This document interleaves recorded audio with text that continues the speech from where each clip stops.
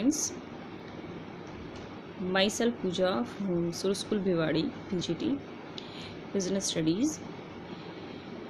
As you know beta we are doing our sixth unit. This is staffing the third function of management.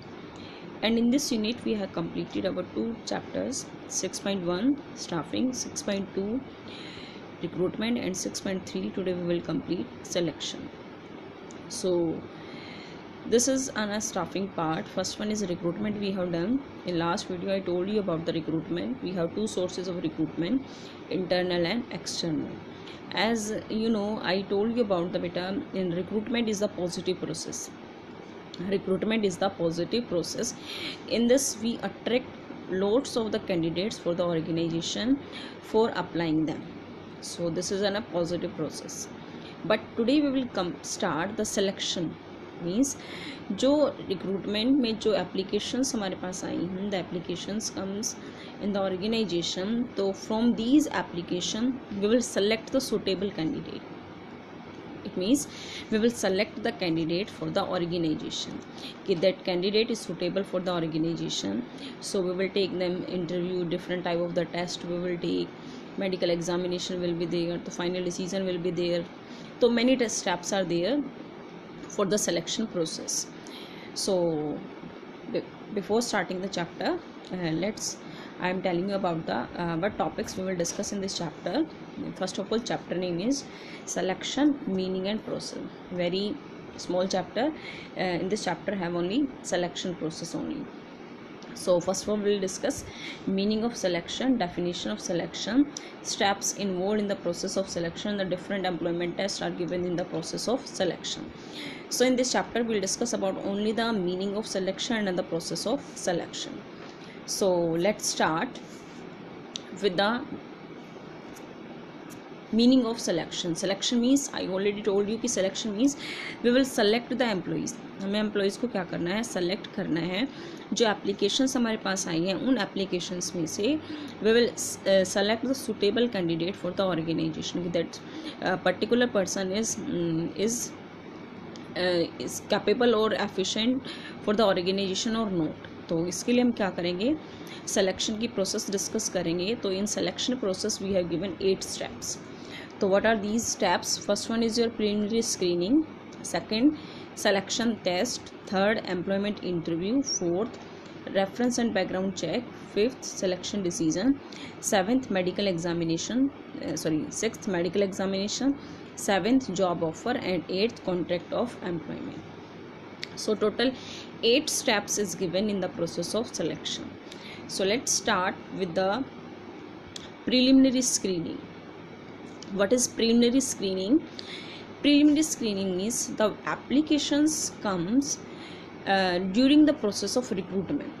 जो applications आई हमारे पास during the process of recruitment हमने last chapter में पढ़ा था कि different sources of recruitment internal and external तो selection we will do in the external source of recruitment because internal वाला तो ऑलरेडी रिक्रूटेड है ना तो there is no need of interview so the preliminary screening is only for the external source of recruitment so first of all what we will do in this step सबसे पहले हमें क्या करेंगे what the applications comes in the organization we will verify we will verify the candidate fulfill all the qualifications essential for the job सबसे पहले हम देखेंगे check करेंगे कि जो पर्सन आया है जिस पर्सन ने अप्लाई किया है जॉब के लिए तो सबसे पहले हम चेक करेंगे the candidates have the essential qualification for the job और नोट अगर वो क्वालिफिकेशन फिट है हाँ सही है तो जो सैलरी आपने लिखा है, जो ड्यूरेशन प्रमोशन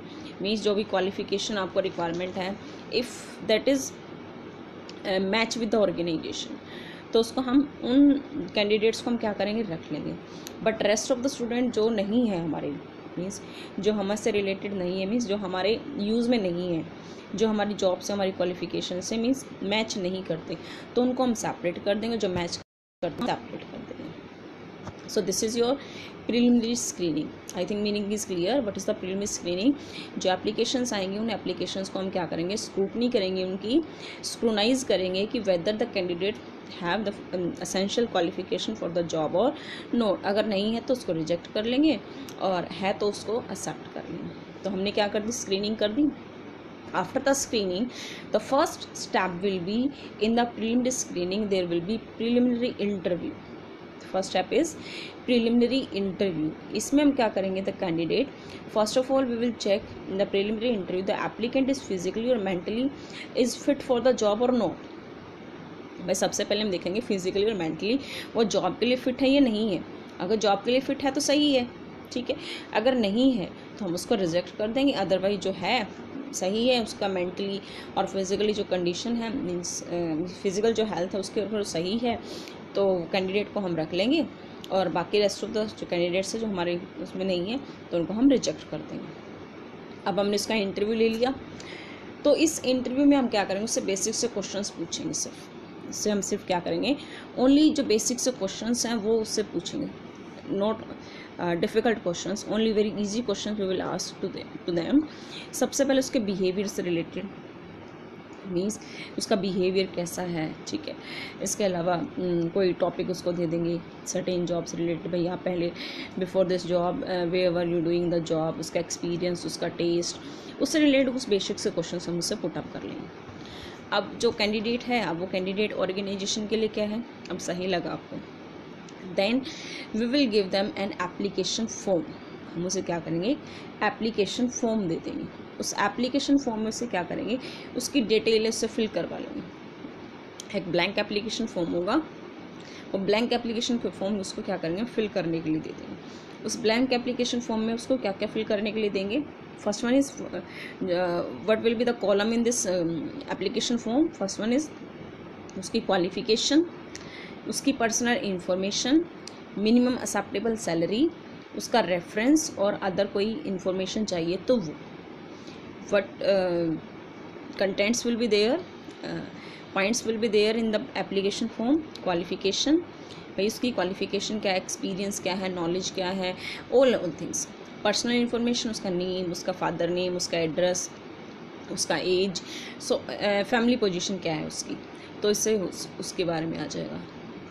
नेक्स्ट है उसकी एक्सेप्टेबल सैलरी बेस को मिनिमम कितनी सैलरी चाहिए? रेफरेंस किसी भी थ्री पर्सन का हम बोल सकते हैं कि भाई आप एनी टू और थ्री पर्सनस को आप अपना रेफरेंस दो जो आपके करेक्टर आपके सोशल रिलेशन को क्या कर सकें?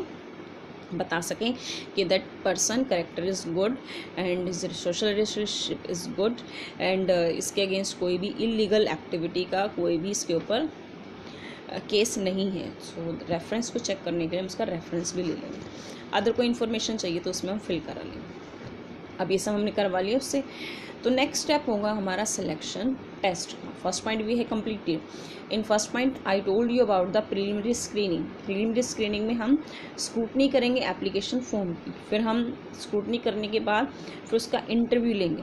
इंटरव्यू लेने के बाद क्या होगा? उससे एक ब्लैंक एप्लीकेशन फॉर्म फिल कराएँगे then next step will be are selection test there will be selection test selection test क्या करते हैं हम? एबिलिटी और स्किल को चेक करते हैं कैंडिडेट की.